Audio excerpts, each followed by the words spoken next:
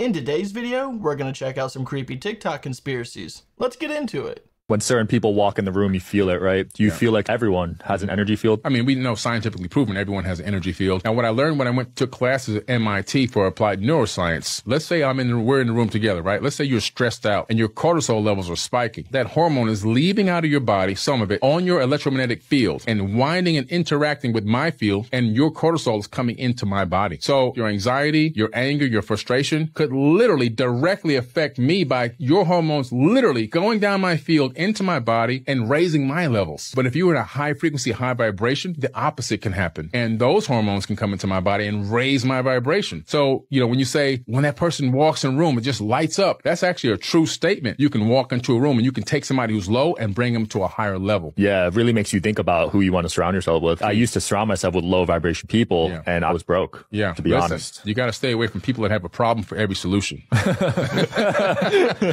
love that. One thing I do know, if you run across someone with very low vibration or low energy, man, you can feel that. It like sucks the energy out of you. When someone is gloomy or depressed and they're around you, you can feel that depression. It's just like there's this void just sucking in all of your happiness and energy right to someone that has a low vibration. I, I, feel like people have the ability to absorb people's energy and give people energy and we just do not know how to fully control that. But I definitely know when someone is depressed around me, I, it's like I can feel it on my shoulders. Stop, stop what you're doing right now. This video could change your entire life outlook. You know what lava looks like, right? Like, we know what lava looks like as it's hot. Runs kind of like a river finding its level.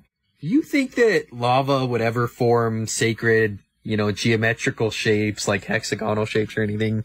Seriously, just to make sure that nobody thinks that this is possible, that hexagonal shapes would be formed from volcanoes or lava, look at it when it's hardened. Look, look, look, look, like a black river or something. I've shown you what lava looks like cooled and hot from a volcano. And we're told that this was formed from a volcano. yeah. Yeah. Remember Avatar? The huge tree that was cut down? Um, might have been a little bit of reality mixed in with that science fiction, but look how level this is on top and is this sawdust from now before I start reprogramming your brain? Look, it makes a lot more sense, man, than lava. Seriously, like springwood, summerwood, hexagonal shapes, like you thought it was one example? No. These trees were all over. Look at this. Yeah. Look at that. Would you look at that? More hexagonal. Look at that. Look at, that. the root system. Like, coming. This guy built, this guy owns this. He lives in a tree. This guy's gotta be insane energy. This guy's gonna live forever. Yeah. Yeah. yeah, like the roots. See the roots? You'll see the roots going up and then the tree was cut down. Yeah. I don't even know how, I don't know how big these things were. I have no idea. Pretty odd, like, formation. like, completely level on the top. Maybe like it was cut down by a giant axe. Not seeing it? I don't know how. I don't know how you wouldn't. this is an axe. See? Easy. Easy to understand. The trees are just the beginning of the lies, though, if you're new here. while I've got your attention, global warming is not real. The sea levels aren't rising, guys. The Earth is also flat. There's no convexity to the Earth. Railguns can hit targets 100 miles away. That's 6,666 feet of missing curvature, guys. That's a weird number. The sun moves. The moon moves. The stars move. But the Earth is completely stationary. Like, just look at flight path landing. Seriously. This was an emergency flight path landing. How did they land thousands of miles in Los Angeles quickly? Like, that would take like hours. But on a flat earth map, probably flying right over it. I do like the idea that those mountainous terrains are just old trees, but the the questions that I have about them is just I do not necessarily believe it because one, like this individual said, they're completely smooth on top. But when you cut down a tree with an axe, it's never a smooth cut. It's always a chunked out cut that's splintered and has different levels to it. Unless whoever cut down these massive trees could just cut it in one fell swoop and it's a perfect cut, there would be imperfections and it wouldn't just be a flat surface. But also, it makes me wonder what causes those complete flat surfaces. I have always found it to be very interesting that those, those could potentially be trees because they really do look like trees. I would just think that there would be more evidence of the equipment that cut them down. We would find more of them other than just one axe on top of the tree stump. But I, I, don't know. What do you guys think about this theory? This is a pretty crazy one, but it's a really cool one. I enjoy it a lot. Hey, if you haven't done so already, go ahead and like the video and subscribe to the channel. I only ask once per video and I make a video like this almost every day. And to the people that are subscribed to the channel, thank you so much for being a part of the channel. And for the ones that are not subscribed, I still appreciate you nonetheless. Thank you for watching. And don't forget, if you want to be a part of Questions for DK where I answer personal questions, questions about conspiracy theories or theories in general, leave a comment starting with question for DK so that I can find it in the YouTube search results and make a future video answering those questions at the end of the video. And stick around to the end of this video where I answer five or six of those questions. Do you know what tribulation is? Yeah? Do you think it's happened yet? Well, I do. And I'm going to prove it to you. I'm going to prove it to you with your own eyes and the stars you see every night. Because I think we're living in a time where the stars already fell to the earth like figs dropping from a tree, just like it says in the Bible in Revelation 6:13. And if we're living in a time after the stars have already fallen to earth, then we're also living in a time where Satan has been loosed to deceive all the nations of earth. And what better way to deceive us than to not only fool us of where we live, but also when we live? Because when you look into it, there are a lot of records of stars falling from the sky in 1833 for hours upon hours upon hours. And yes, we still see stars in the sky, but could they be a deception from the enemy? Could they be Satan's tool to confuse us? You see, if you still think you live on a globe and you don't know there's water above us, above the firmament, you're going to have a hard time with this. But if you're a flat earther, continue to follow along. Have a little look at what they were able to produce in a lab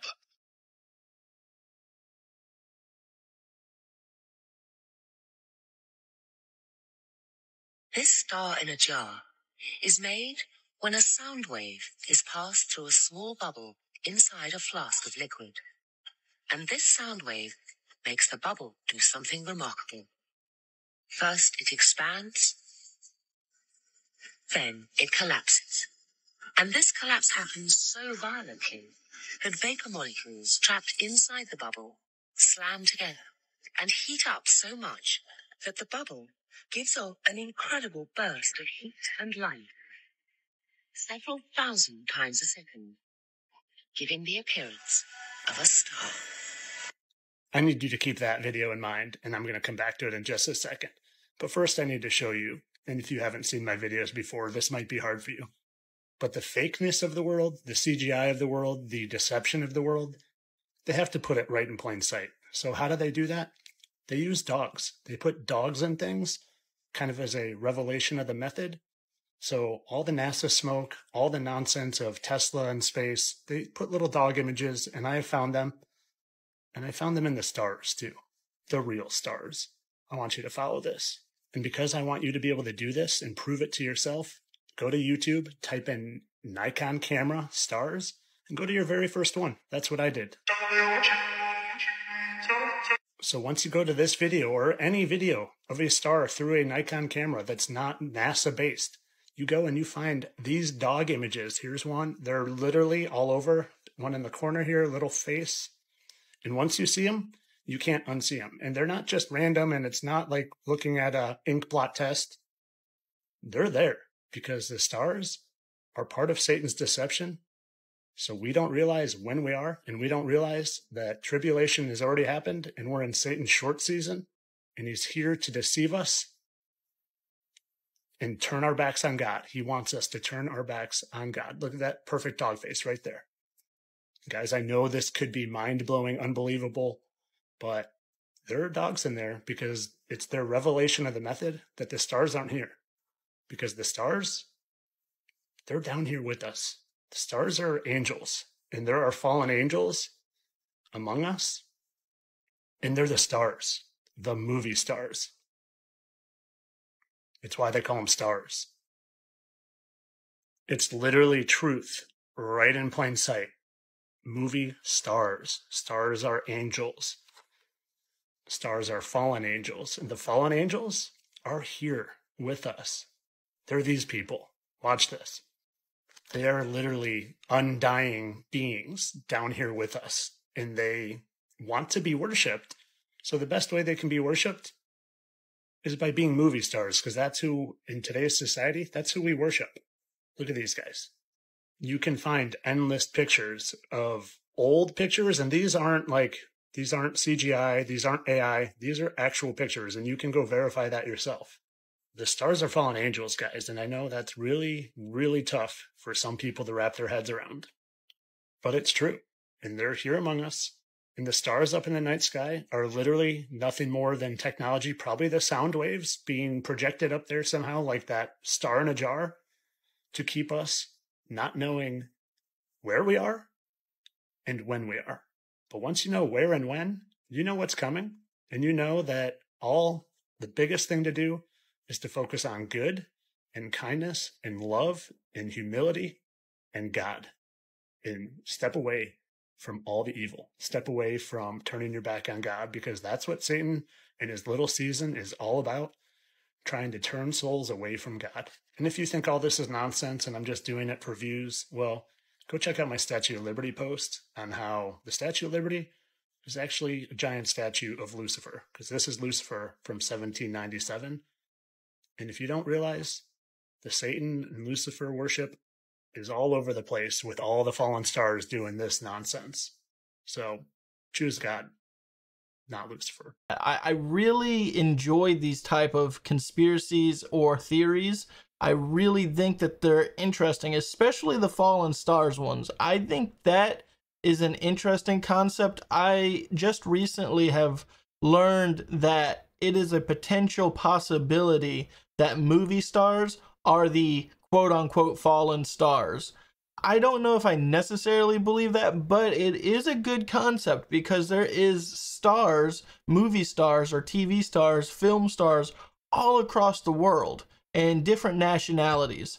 So who's to say that maybe those aren't fallen angels that are just trying to reclaim their fame and become praised and worshipped again as they were way back in the day. And as far as the dog images go, I do see some images of dogs here and there in the stars, but I don't know if I necessarily believe that they're just putting images of dogs to falsify this concept. And the last thing that I thought was really cool was the glass vial that they basically made a little star inside of it out of water and sound frequencies. That was really cool. What do you guys think about some of these topics? I would really like to hear your input because there was a lot to break down on this video in particular.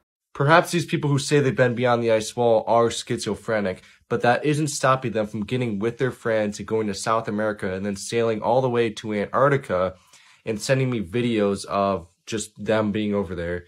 One of them just recently told me, this is a new person, that they're going to sail all the way down through here, past the ice wall, and then somehow get through the scorched waste, whatever these are, I don't even know what they are, and go to the real lands of Mars, which is on the next map I'm going to show you. So if you didn't know, according to flat earth lore, there's supposed to be another dome right next to ours, which is actually the other planets, but they're actually, they're actually domes and, and you can get through, through these giant ice walls that are even bigger than the ice walls that we know that are around us. And if you zoom out on this entire map, you'll see like a hundred different places. Yeah, see, look at all these. This is apparently what like all the whole universe is. All right, so this new guy that I have not talked about on this account yet just told me that he doesn't have the right technology to go past the ice wall but he sent me this blueprint of something that he's designing that will apparently take him past there. If anyone could tell me what all this means, you take a screenshot right now. There's also this one, but it's supposed to be some type of submarine. Oh, and he also sent me video of when he went to Antarctica a few months ago. and he saw what he said was the ice wall down there. He said they weren't able to go any further because of an invisible force field that is apparently being powered in the Grand Canyon with some type of sediment that exists only there. And there's a secret hidden, hidden military base that he's trying to infiltrate and get rid of some kind of stone that is stopping him from going over there. And he said he figured this out by doing some golden ratio calculations. And so this, the Grand Canyon apparently is some like center of the earth or something. But yeah, what do you think? Is this guy telling the truth? Or is it all fiction? I I really find that the ice wall theory extremely fascinating. The simple fact that we might have an ice wall around us here on Earth, our portion of the bubble, is just one of many that are on this same planet. And if there's not a movie or a storybook about this, we need to make one because this would be an epic adventure. Have you ever encountered another entity or something? In remote viewing, yeah. I saw one guy that was like, I referred to him as the keeper of the DNA. Somebody way up the ladder in the Galactic Command Center that had a vault of DNA. And so they'd go, we got a planet that's this far from the sun. The gravity is this. The oxygen, carbon dioxide, nitrogen level is this. And he could take DNA off the shelf and say, okay, we'll make a creature that will live there. And then he, they'd introduce it. And that wow. was his job to have the mixture for the right conditions or to create the conditions on the planet, terraform the planet. Yeah. That guy moved me when I was looking at him. I, I got real emotional. Like, wow, this is very powerful. I really on. To be able to remote view to a distant galaxy or somewhere where there's an individual that you call the DNA collector or whatever he's called, and it's a whole different entity that's their job is to mix DNA, put it on a planet that is adaptable to that DNA. That's pretty fascinating. What do you guys think about this story? I don't know if I necessarily believe it, but it's a pretty interesting one nonetheless. How did people sleep in the Middle Ages? You might think, as usual, they went to bed in the evening and got up in the morning. But it wasn't quite like that. In Geoffrey Chaucer's work, The Canterbury Tales, as well as in many other sources, the concept of the first and second sleep is mentioned. Apparently, people in the Middle Ages went to bed around 8 to 9 p.m. and woke up at 11 p.m. This happened naturally, without alarms. From 11 p.m. until around 1 a.m., they engaged in various activities, cleaning, cooking, conversations, or prayers. Then, the inhabitants of the Middle Ages would go back to sleep and wake up at 6 a.m. Often, the entire family slept in one bed. The girls would sleep on one side closer to the wall, followed by the mother and father, then the sons. Sometimes a lost guest would join this company. They would lie at the edge of the bed and, out of propriety, were not supposed to touch anyone or move around too much. Oh, there you go. If you wanted to know how they slept in the Middle Ages. 35 million year old lizards were found perfectly preserved in amber. This discovery was in Myanmar and they found 12 lizards and a ton of insects in this amber. Despite what scientists previously thought about how lizards evolved, they found a lot of diversity in this 35 million year old tree sap and realized they were wrong. A lot of these fossils look like they just died today. And they thought that these specific types of lizards only evolved millions of years later. But still, there they were, fossilized, perfectly preserved. Their scales were still on them. This is actually insane. There were many chameleons and they had weak jaws, just like chameleons do now, which means that the tongue going forward and catching the prey like a little rubber band, that had already developed over 35 million years ago. They did not think that it had developed that long ago. They also found ants and centipedes along with the lizards, and they believe that the lizards were preying on these insects. 35 million years old. It's crazy. Makes you wonder what other things scientists have been wrong about. Follow for more tea? Hey, that's pretty cool. 35 million year old ants? And those ants didn't look no different than what they do today. Those are one of my worst enemies. I hate ants. And to think they were probably just as bad, if not worse, 35 million years ago. Chrissy is home alone with her son when he keeps looking at the corner of the room. Where's your favorite place to go? What do you see? I see something behind her. I see something behind her in a tiny. You see what? A plexing. A bad thing. A plexing. What does it look like? A ghost. A ghost? Uh, it's, it's one. No, no, there's no ghosts. No ghosts here. Ghosts be gone.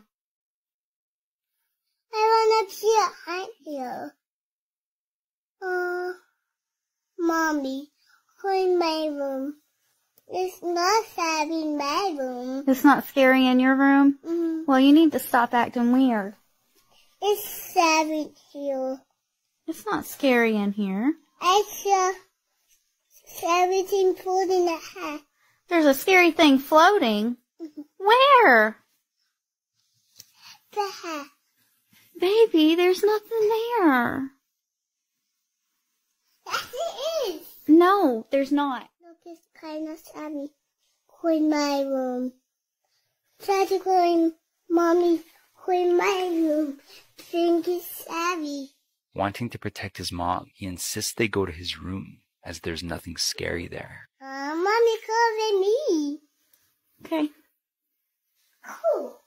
Mommy, cool. Mommy, coming here too. It's nothing savvy. Nothing scary. Mommy, I love you. Oh, what is another life? What is another animal like?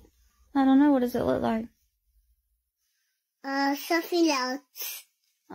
After uploading, thousands of people flooded the comments, saying that her son was clearly seeing something just beyond the wall, and others claiming that they too have had similar experiences with their children. What do you believe? My favorite person. Where's your favorite place to go?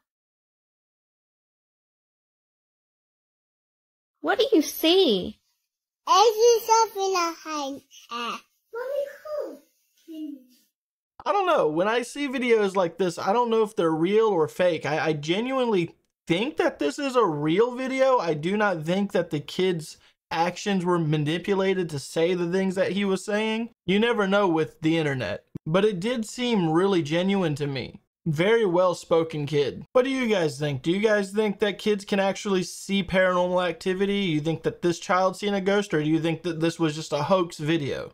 Have you ever wondered about the creation story in the book of Genesis and why God was able to walk with Adam in the cool of the day? Well, what I'm about to share with you is a rereading of this story with some of the original uh, language preserved to understand particularly what these beings were. And yes, I said beings. Now, spoiler alert, this is not the story of mysticism like I grew up understanding, where God breathed and spoke into the universe and created all things. That's a completely different version, is that kind of mystical, in the beginning was the Word, and the Word was with God, and the Word was God type of understanding. Now, this one is actually out of Genesis, and it deals with the word Elohim which are the powerful ones. This is a Hebrew word that denotes the gods. You see, these Elohim are presented in many different mythologies, including the Anunnaki mythologies out of Sumeria, Babylonia, and Akkadian. These are some of the oldest stories we have on the planet. And the more you study mythology, the more connections you see between all of these ideas. And the idea that in some distant past, something came down from the heavens or out of another dimension and began to make with what was here. I can't believe I'm saying this, but they have just done what in the UK? Oh my days. So, a lot's been going on in the UK the last few months, year. This probably tops it as one of the craziest things they've done. So they banned A levels and said that everybody has to do maths and English till they're 18. They said they were going to ban vapes, but they just taxed them. And now they are paying influencers to tell migrants not to come to the UK. Honestly, please let me know your thoughts on this. So, the Home Office said they have set aside £100,000 of our taxpayer money to pay influencers to literally post videos telling people to not come to the UK illegally. Apparently, they are looking at influencers as well in Egypt and Iraq and are going to pay these people £5,000 each, 5,000 great British pounds, to post a video telling their followers in their country, don't come to the UK illegally. I'm actually, I'm so confused. But please, as always, let me know your thoughts in the comments down below. Hit that follow button, and I will keep you updated.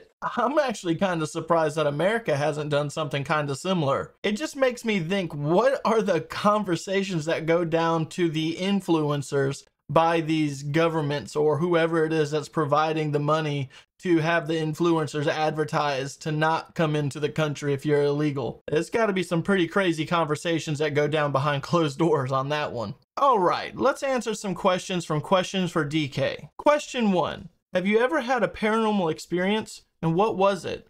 Very good question. I have had a couple of paranormal, if you want to call them that, experiences. Me personally, I'm not 100% sure to classify them as a real paranormal experience, but I'll give you one for an example. When I was a kid around 10 years old, 10 to maybe 11, my uncle in the family, unfortunately, his life was taken by another individual. I was completely unaware of that. And at the time, I was in South Carolina. And this took place in Michigan. So it was near Christmas time. It was mid December. And we had to take a spontaneous trip to Michigan. And I thought it was just for Christmas time because my family kind of liked to take a Christmas vacation to Michigan to visit the rest of the family. I did not know what happened to my uncle happened. And again, I was a very young individual and I do not remember anyone telling me about it. And I can, I remember very specifically that my mom was pretty protective over whatever the information was that she received on the phone for us to go to Michigan. Well, on the way to Michigan, we stopped at a hotel in Ohio, I believe it was. And I remember very vividly when we got to that hotel, it was extremely late at night we went to bed. My grandma was there and my mom was there. And I was sleeping in the bed with my grandmother while my mom was in the other bed. And I remember waking up and I could hear something at our hotel room door. And it kind of scared me a little bit because I was a kid, you know, and I didn't know what crazy, creepy things could have happened at the hotel. Well, I hear this noise coming from the hotel door and I'm looking at it and I'm just laying on, I'm just laying in the bed and I'm looking at the door because I can see it. And next thing I know, and this sounds completely ridiculous, I know it does. The next thing I know, I see mist and fog rolling underneath the door and the next thing you know, my uncle just right out of the fog just peer, appears out of the ground and he's just waving at me. He's waving and he's t- he, he is tipping his hat because that's something my uncle always did. He always wore a cowboy hat whenever he farmed and he would always tip his hat. And he tipped his hat and then he went into the air conditioner vent and just got sucked into it and disappeared. And I remember waking my grandma up and I'm like, I'm not going to use my uncle's name, but I was like, Grandma, Uncle was here, Uncle was here. And my grandma was really upset that I was saying that. She's like, Why would you say that? You should know better than to say that. And my mom woke up and she's like, What is all the fuss about? And basically, I told him that I seen my uncle, and my mom started crying. My grandma started crying. And my mom told my grandma that she never told me of the situation that happened for me to even know that that uncle passed away.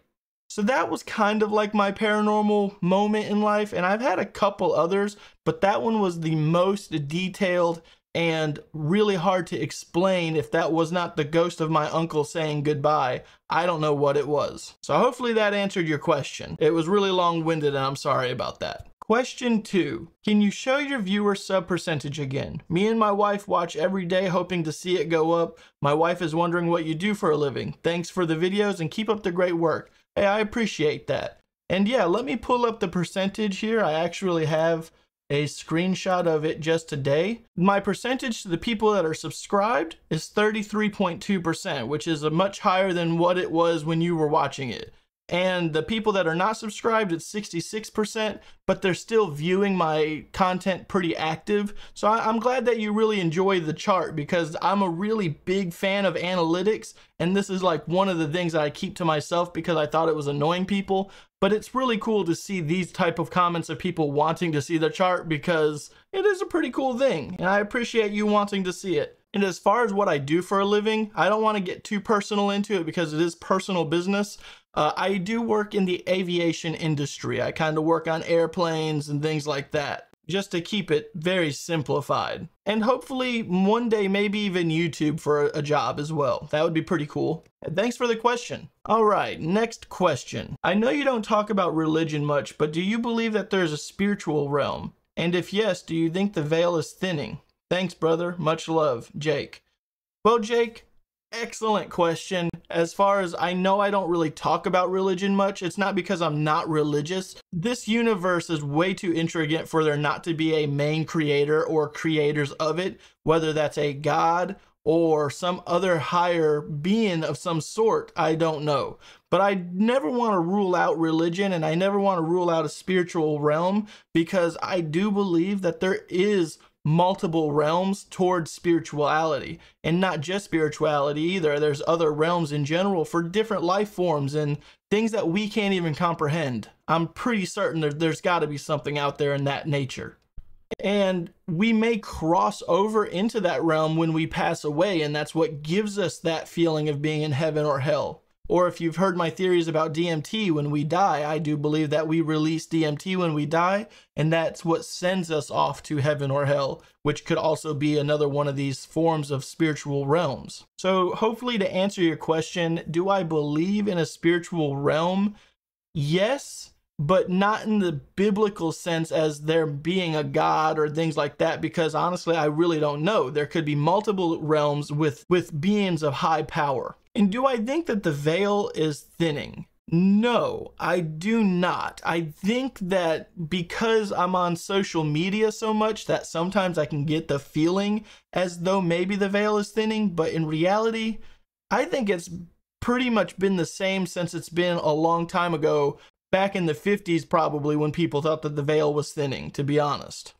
So hopefully those could answer your questions. Thanks for the comment. All right, next question. Do you believe in dragons? I read an article in my news app under the science section about a dragon-like discovering the team discovered a school bus-sized creature that had wings and sacs for air, not lungs. So follow me here. If it has a flame source and could blow high pressure wind out, Maybe it just seemed like they were fire breathing. Just a thought. Pretty good question and a really good thought. Do I believe in dragons? I definitely think that dragons or some form of creature that we classified as a dragon back in the day probably did exist. Just like if there were dinosaurs, those dinosaurs were probably the so-called dragons in that civilization's day. A T-Rex could easily be identified as a dragon to someone that doesn't know what a T-Rex is. Being that dinosaurs is a coined phrase nowadays. We know what a dinosaur is, but back in the day, no one would have known what a T Rex was. They would have had a totally different name for that creature, which also makes me want to say that I don't know if I necessarily believe in dinosaurs being as old as some of the scientists say dinosaurs really are. They could easily, for me, be a few thousand years old and not even millions of years. But that's a theory for another day. Hopefully that answered your question though. Next question. How did you get started doing conspiracy theory videos? Great question. I got started doing these types of videos because it's really fun to do. Before I was doing conspiracy videos, I was doing music reaction videos where I was reacting to music, such as hip hop, or different other types of artists in general. I was just listening to music, giving my input and reacting to them. And then one day I just was scrolling through my phone and I was like, why am I not reacting to this type of content? I really enjoy reacting to creepy videos and that's initially where it started was kind of ghost on camera type videos. I'm like, you know what? I'm to throw some of these out on YouTube, see how well they do and they did pretty well. So I kind of stuck with that from there, and then it turned into the conspiracy realm where it's just about conspiracy theories and creepy videos and things like that. So it kind of just fell in that line. from what I was doing in the past because before I was even reacting to music, I was making music and uploading it to YouTube.